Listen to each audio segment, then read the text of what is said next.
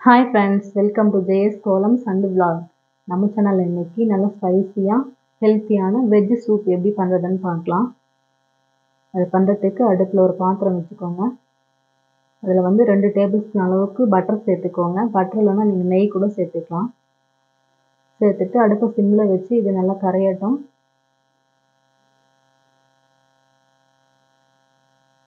Butter நல்லா கரைஞ்சதுக்கு அப்புறமா அஞ்சு பல் பூண்டு ஒரு இன்ச் அளவுக்கு இஞ்சி நல்லா பொடியாக கட் பண்ணி சேர்த்து ரெண்டு நிமிஷம் நல்லா வதக்கி விட்டுக்கலாம். பட்டர் சேர்த்து செய்யும்போது சூப் நல்லா டேஸ்ட்டாக இருக்கும். அது கூட ரெண்டு மீடியம் சைஸ் வெங்காயம் பொடியை கட் பண்ணி சேர்த்து நல்லா கண்ணாடி பதத்துக்கு வதக்கி விட்டுக்கோங்க. ரொம்ப நேரம் கலர் சேஞ்ச் ஆகிற வரைக்கும் வதக்க வேண்டாம். இந்த அளவுக்கு வதங்கினதுக்கப்புறமா பாதி கேப்சிகம் கட் பண்ணி சேர்த்துருக்கேன். ஒரு கப் அளவுக்கு பீன்ஸு ஒரு கப்பு கேரட்டு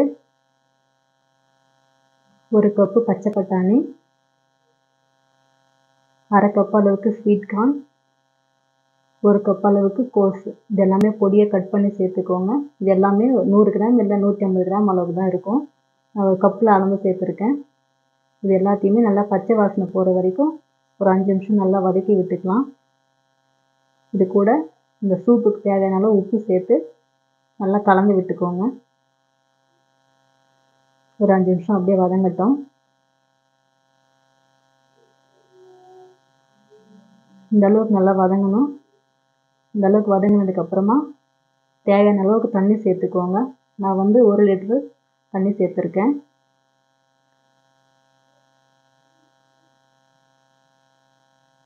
சேர்த்து நல்லா கலந்துட்டு அப்படியே மூடி வச்சுருங்க. இது நல்லா கொதிக்கட்டும்.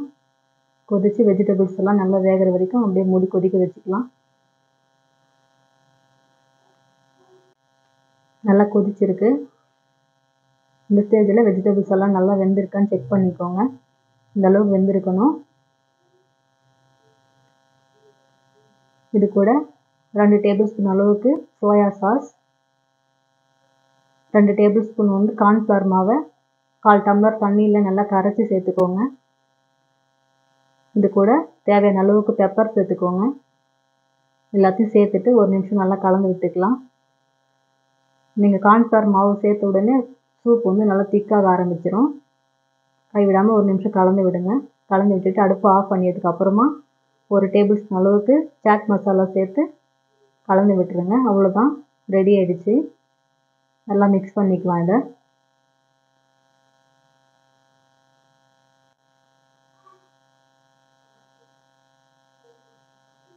அவ்வளோதாங்க ரொம்ப சூப்பராக ஹெல்த்தியான வெஜ்ஜு சூப் ரெடி ஆகிடுச்சு கண்டிப்பாக ஒரு முறை ட்ரை பண்ணி பாருங்கள் ரொம்ப டேஸ்ட்டாக இருக்கும். இந்த வீடியோ உங்களுக்கு பிடிச்சிருந்துச்சுன்னா லைக் பண்ணுங்கள் ஷேர் பண்ணுங்கள் கமெண்ட் பண்ணுங்கள் மறக்காமல் சப்ஸ்கிரைப் பண்ணுங்கள்